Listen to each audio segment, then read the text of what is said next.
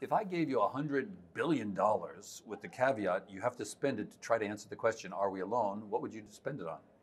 Influencing the next election.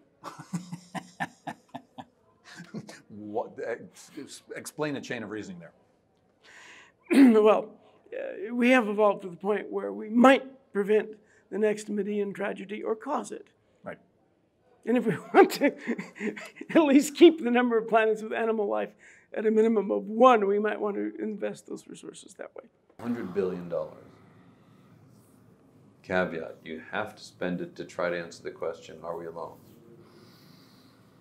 Okay, do I have to do I have to spend it honestly or can I any way you want? Okay, then I'd say we do a drilling program to drill deep within the earth in search of different forms of life on Earth. Oh. Okay, to find out whether we're not alone on Earth because it's tractable and we can maybe oh. see something in human lifetimes. I would spend a lot of money trying to understand how life originated here on Earth. We don't know a lot about that. I don't think we know a definition of life that everyone agrees with. Uh, the first thing I do is to look for a second form of life on Earth because that's the easiest thing. Uh, here we are, planet Earth, we're already examining uh, at an accelerated pace all the different microbial life forms around us. Uh, we need to be aware of the fact that there may be microbes which are life, but not as we know it. And so my first research thrust would be that. That would be the easiest to do. I would probably do more solar system exploration, the places we can actually go to although I suspect that the probability of success in that kind of venture is certainly not zero, but it's not high either. It's a good question. I, one of the things I would do first is go for, I think, some um, uh, environments, some watery environments in our own solar system that we could get to relatively easily. I think sample return is the answer to sample return from Mars. Money. From yeah, from Mars, probably. Yes, Mars. I would uh, send a rover to Mars to collect samples, bring them back home. I would send something through the plumes of Europa to collect a sample, bring it back home, or or land on Europa and, and get down to the, the oceans there. Maybe two or three billion dollars will get you some good sample return missions to a bunch of planets, which would be like Mars or solar system planets. Solar system planets, uh, which might get you the answer or might not. I would spend it searching for planets orbiting sun-like stars to search for the true Earth twin, where we have some grounding and understanding of planetary, of planetary science and of sun-like environments. With $100 billion, I could build a really fancy space telescope. Help contribute to larger telescopes that could help us discern the composition of more, the atmospheres of more and more Earth-sized planets, um, in our stellar neighborhood. I would also be uh, definitely um, inclined to advance uh, space travel and remote detection of molecules in the universe. There is remote sensing, uh, as we're doing now, basically looking for signals. Um, uh, and there are all kinds of uh, artificial signals that one can look for. So first would be the first task would be to brainstorm through all possible signals that we could detect with such an investment of funds. I would spend it uh, piecewise. There's no one gigantic project you can say this will answer my question. Uh, I think we will have to proceed in a series of steps. Uh, do what we can today with what we have today. Um, build the equipment you can imagine today. Measure something you can look for today. And then uh, when you see what that answer is, then decide what you need to build next. So you can't really make a very long-term plan. Well, the obvious strategy, it seems to me, is the one that people rarely do, which is wait.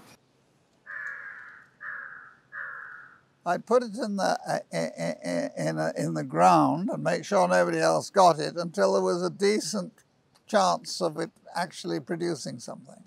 Uh, I'd, I'd say to you, I don't want $100 million. I'd say, I'd say 100 billion. No, I don't want $100 billion. I'm not, I'm, Rutherford said once when he discovered the nucleus that uh, a,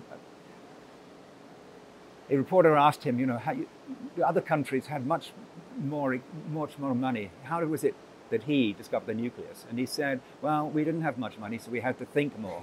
and I think being flooded with money is very bad news for anybody who's working on theory. I really haven't thought about it. I think because uh, any finite amount of money has to be used very carefully. 100 billion is a finite number. Yes. Okay, therefore, uh, you have to optimize as to what is the best way to do that. I would probably think this is really talking through the hat of the cuff. Probably we will think increasing the speed of spaceships. After I spent about 80 billion on myself, I take the 20 million. what you those- do with 80 billion dollars? I'm sure I can find something. So I give you $100 billion, and can you make something with that money that, can you answer some question that is relevant to the question, are we alone? Can you make any uh, progress? I suspect a little progress could be made, but not $100 million worth. That's why you'd bury the money. That's why I bury the money. Okay, so how long is this money going to stay in the ground? Uh, that's another question.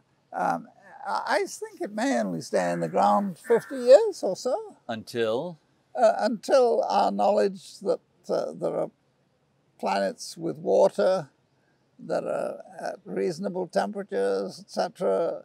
And I don't really believe that you necessarily need planets with water to make life. I think there may be that's uh, that that's narrow thinking. So I think that it may be possible to get bacteria and other things in, in quite, as it were, alien conditions that are rather alien to what we think about as, as, as life, as, life-giving places.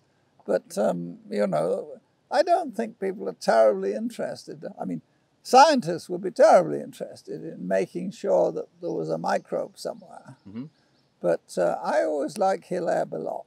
You like who? Hilaire Belloc. Hilly, what is that? He's a man, Okay. a Frenchman who came to England. He would have liked to have been a member of the upper classes, but he wasn't. Oh. So he wrote satirical verse, Uh-huh. and the microbe is one of his best. The microbe is so very small, you cannot make him out at all. But many sanguine people hope to see him through a microscope. his jointed tongue that lies beneath a myriad serried rows of teeth, his eyebrows, sorry, his, uh, his seven tufted tails with lots of lovely pink and purple spots, on each of which a pattern stands composed of 30 separate bands, his eyebrows of a tender green. All these have never yet been seen, but scientists who ought to know assure us that they must be so. Oh, let us never, never doubt what nobody is sure about.